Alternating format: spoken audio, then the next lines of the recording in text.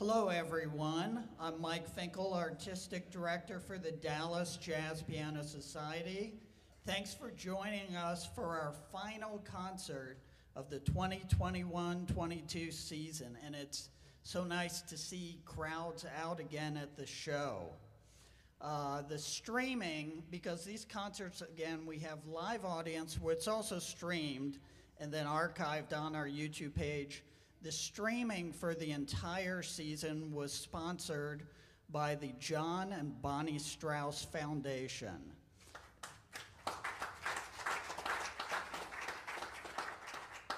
And this hall and the nine foot, $250,000 Shigeru grand piano that Kent's threatening to take home. I'm not sure how it's going to strap on the top of your car. But that's provided by Kawai Piano Gallery.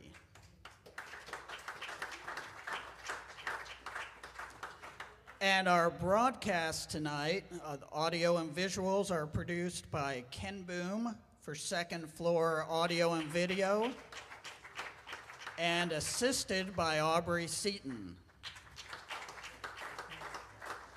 Now, tonight's show is not sponsored, so we haven't come up with a sponsor yet, but what we're going to do, Lynn, tell us about your bass.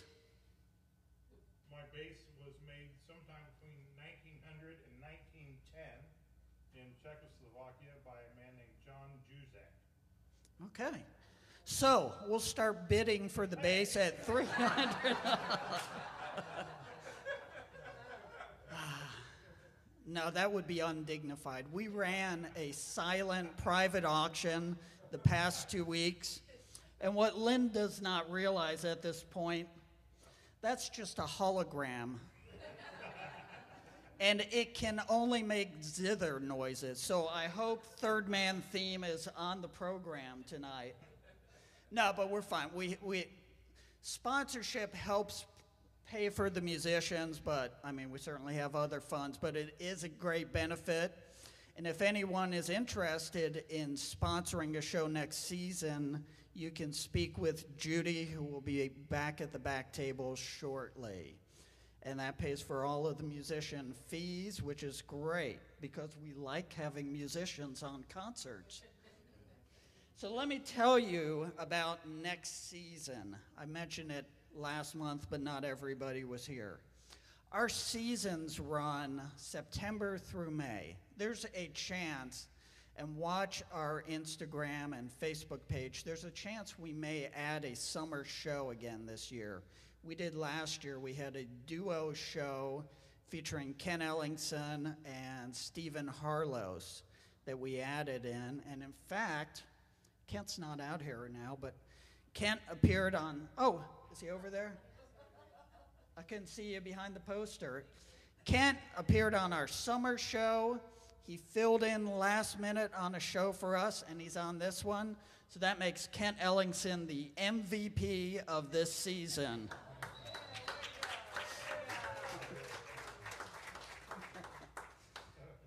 There's no, there's no trophy. No, there's a couple waters in the back.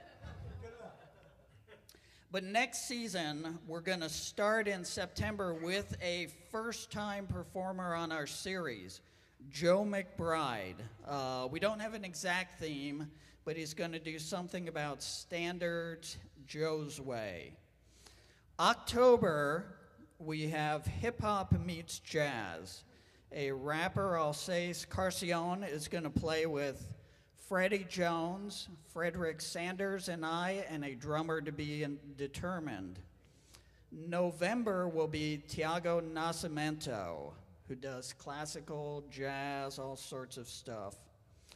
December will be Carlos Averhoff doing Latin jazz and playing songs from his new album. January will be Brad Williams appearing again.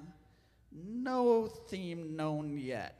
I'm not sure. I th- I, we'll say Brad's going to do the music of Spike Jones at this point. Uh, February, Miles Tate and I have been talking about this for a while. He's going to do the music of Miles Davis. And then in March, Ashley Smith will be in with her group uh, for our Women of Song program. April will be Rising Stars once again. We hope to feature Christopher Lawson Palmer, possibly for the third time if he keeps his game up, Christopher. And then next May, Piano Madness. This is sadly a Kent Ellingson free year. What's going on here? Uh, Piano Madness next year will feature Tony Palos, Kelly Durbin, and Peter Rowe, along with hopefully Lynn and Steve again.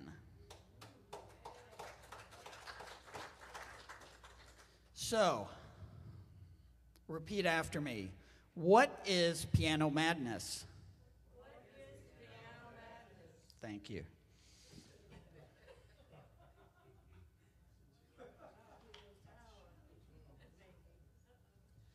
Okay. Piano Madness, generally on our shows, we've always had three pianists. But this year, Kent and Eric are so awesome, we only need two pianists on this year's show what happens, they'll each do, and the program's all kind of mixed up as you can see, they'll each do one solo piano piece. They'll do two pieces together where it's just them. Each of them will do two pieces with the trio, and then we'll have just the madness of two pianists with the drums and bass on a couple of songs, including our closer. And I think that's the way Dan had set it up back originally on our first Piano Madness show. So we're given a chance to see them in a variety of formats. Now, if we, uh, and Ken's wife knows this well, being a therapist, Sigmund Freud uh, refers to piano madness as a malady where patients are obsessed with the number 88. Furthermore, if you look in their closets, their dark clothes are arranged in groups of three and two and three and two and three and two. So that's part of the piano madness. The other thing is, people suffering from piano madness tend to have odd names for their children. They may name them Thelonious Sphere, they may name them Elton, uh, some have even been known to name their sons Nina Simone. So there's various things that happen with piano madness. It is sadly contagious, so check with your doctors later on. But let's have some music. Who's going to start us out here? We are going to open with these are not prescriptions, so I can't see well. We're going to open with Eric and Kent doing Straight No Chaser by Thelonious Sphere Monk. All right, wake it up.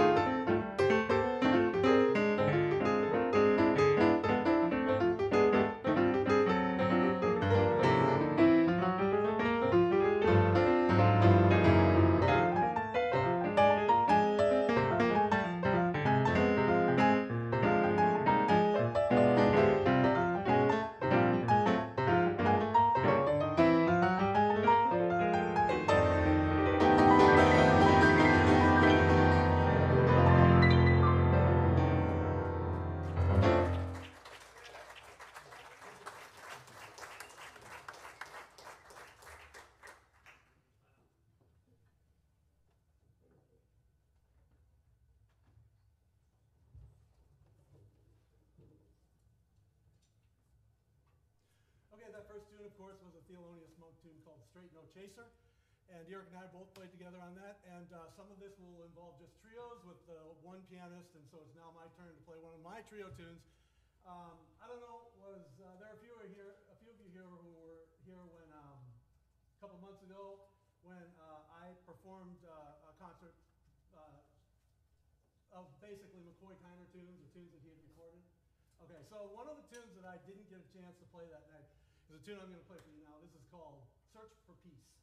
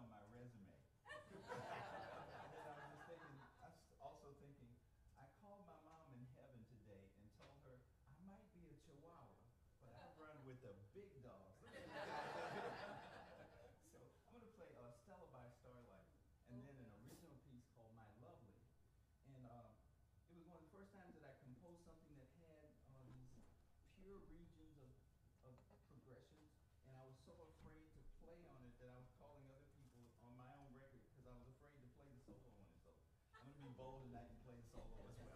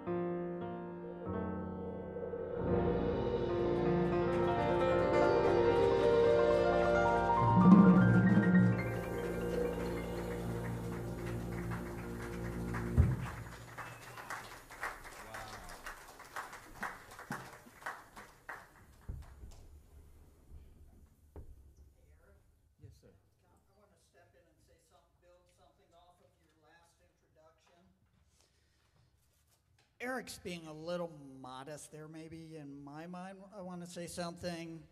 I've had two, maybe three students come in at times when I was teaching, and they said, I've got this recording by my favorite pianist, and I want to learn this solo. And I said, Great. What do you have? Something by McCoy Tyner, Herbie Hancock? And they all said, No, Eric Willis.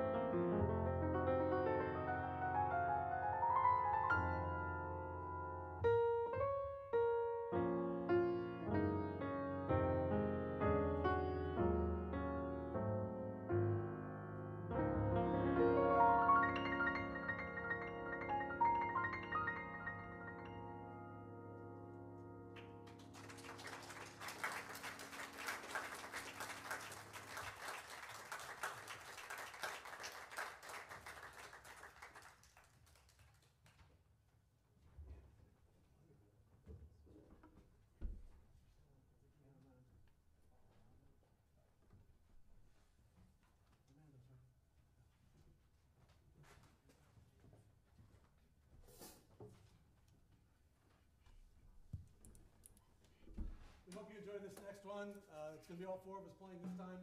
This is a Chick Corea tune from, I believe, the My Spanish Heart recording of what, 1976? Maybe? This is called Armando's Rumba.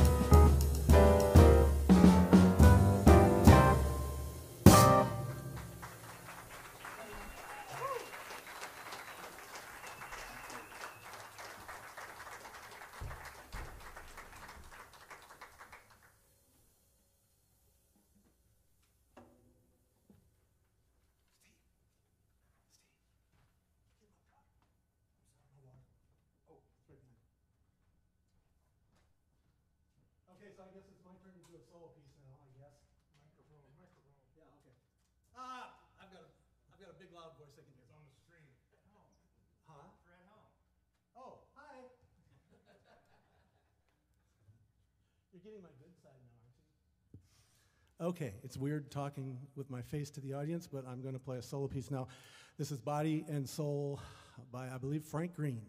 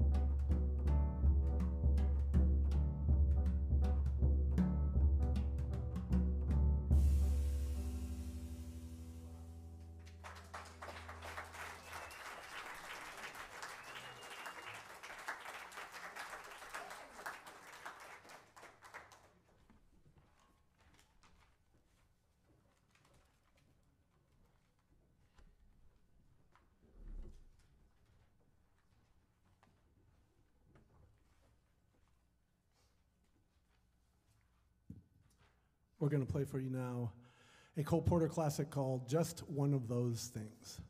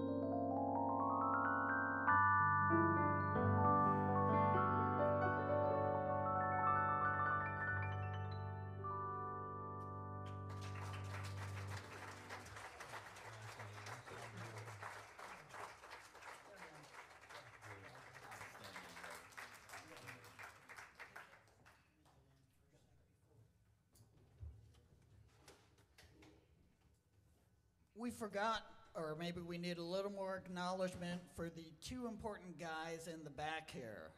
Lynn Seaton on the bass.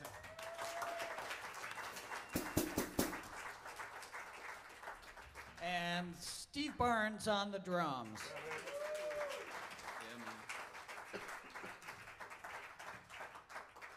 And if you enjoyed tonight's concert and you need some more jazz for your summer, go on YouTube, search for Dallas Jazz Piano Society.